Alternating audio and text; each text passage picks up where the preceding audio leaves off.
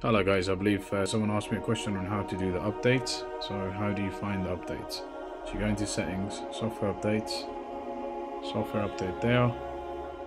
They run, they do the checks, go into three buttons there, parameter versions, go into settings, make sure this is turned on. This is Honor Magic 5 Pro, so make sure this is turned on to, in order to get your um, OS 8 update. And then click on this button, try out version, and hopefully you should actually start getting it. The first country to receive this was Malaysia, I believe, and, and obviously China. But um, outside China was Malaysia. So if you want to change this thing, then get a VPN, change your location to VPN, and then do the same thing here. So the parameter thing and the tryout version thing. From that, there's just device settings, just make sure it's an update and everything. And that's how I got it. Uh, apart from that, uh, what do we have? Do, do, do, do.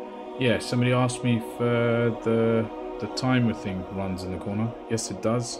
So if there's a timer running for a minute, or two minutes, or three minutes, there, click. So if I minimize it, it runs up there. Okay, and then you can tap on it, and then there, tap on it, and it's there. So yeah, the capsule works, and it's uh, quite handy. It works for calls. Uh, it works for um, YouTube Music. It works for uh, Spotify and all those apps, but um, not many apps that actually utilize that. But I'm assuming there's more updates that are coming. Rest how to get this neat status bar. So what you have to do is go into settings again, and then go into display. Where are you? Notification and status bar.